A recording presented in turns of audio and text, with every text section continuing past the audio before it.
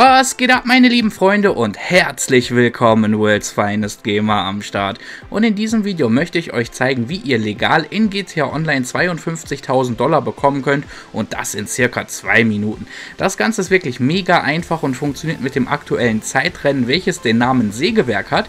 Dieses Zeitrennen findet ihr in Blaine Country beim Sägewerk und dieses Zeitrennen ist noch bis Montagmorgen um 7 Uhr in GTA Online verfügbar. Dieses Zeitrennen ist wirklich das leichteste Zeitrennen, welches es in GTA Online gibt und dieses solltet ihr ohne Probleme mit einer Bati oder mit der Hakushu schaffen. Ich habe das Ganze jedenfalls beim ersten Versuch geschafft und muss ehrlich sagen, ich habe jetzt nicht irgendwie geschwitzt, dass ich es schaffe, sondern ich habe das Ganze einfach ganz chillig gefahren. Der Start befindet sich wie gesagt beim Sägewerk in Blaine Country und das Ziel befindet sich im Davis Steinbruch. Und ihr müsst halt beim Davis Steinbruch ankommen in unter 2 Minuten und 15 Sekunden. Der schwierigste Teil des Rennens ist wohl der Anfang und zwar müsst ihr es dort ziemlich schnell und ohne irgendwo gegen Zu fahren, auf die Zugschienen schaffen und wenn ihr dort angekommen seid, könnt ihr jetzt dort fast das halbe Rennen bleiben. Das heißt, ihr folgt einfach den Zugschienen, bis ihr auf der Höhe des Flugplatzes in Sandy Shores seid und dann brettert ihr einfach querfeldein nach rechts in Richtung des Flugplatzes.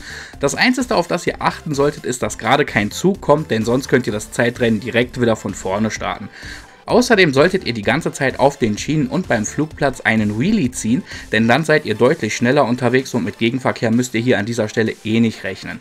Gegenverkehr wird nämlich erst kommen, wenn ihr den Flugplatz verlassen habt und wenn ihr auf den letzten Metern des Zeitrennens seid. Aber ich denke mal, wenn ihr hier einfach vorsichtig fahrt, dann dürftet ihr das Zeitrennen ohne Probleme schaffen und schon seid ihr um 52.000 Dollar reicher. Ich bin das ganze Rennen, wie schon gesagt, recht chillig gefahren und hatte am Ende noch circa 10 Sekunden Zeit übrig und von daher denke ich ich mal, dass ihr das auch ohne Probleme schaffen werdet.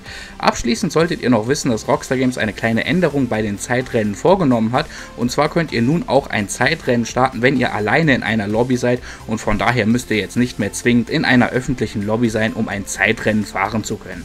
So Leute, ich bin jetzt nun mal raus. Wenn euch das Video gefallen hat, lasst mir auf jeden Fall ein Like da. Und wenn du neu auf meinem Kanal bist, dann abonniere mich doch kostenlos, denn dann verpasst du in Zukunft keinen krassen Glitch mehr in GTA Online. Und dann sehen wir uns auch schon im nächsten Video wieder. Bis dahin, macht's gut, bleibt gesund, haut rein und ciao.